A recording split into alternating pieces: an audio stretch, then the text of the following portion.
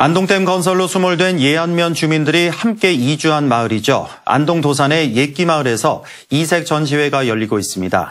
작가들은 바로 옛기마을 어르신들인데 평균 나이 70을 넘은 분들이 내놓은 작품 수가 무려 700점에 이릅니다. 이도훈 기자입니다.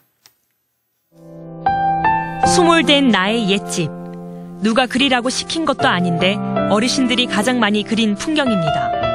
흑백 사진 한 장 남기지 못해 안타까웠던 마음을 태어나 처음 배운 그림으로 달랬습니다.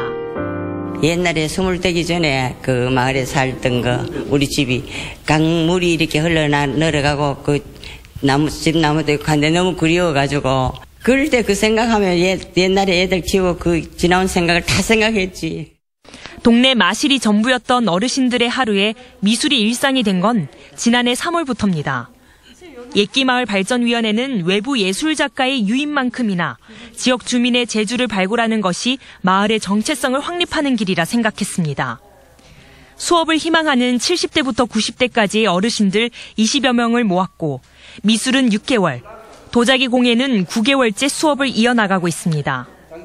이 할머니들이 23년도에도 계속 이 교육을 좀 실시를 해가지고 어. 어, 어느 시점 되면 우리 할머니들이 직접 그린 그림을 일주일에 두 번씩 모여 도자기 공예와 그림 그리기를 시작했는데 언제부터인가 수업이 없는 날에도 어르신들은 자발적으로 마을회관에 나와 실력 쌓기에 몰두하고 있습니다.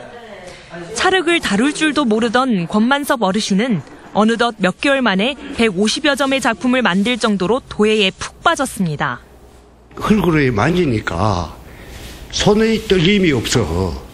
그리고 생각을 많이 하고 또 하니까 머리도 맑아지고 동네 방네 오시는 분도 아 이거 네가 만들었냐. 참 그 대단한 그게 힘이에요.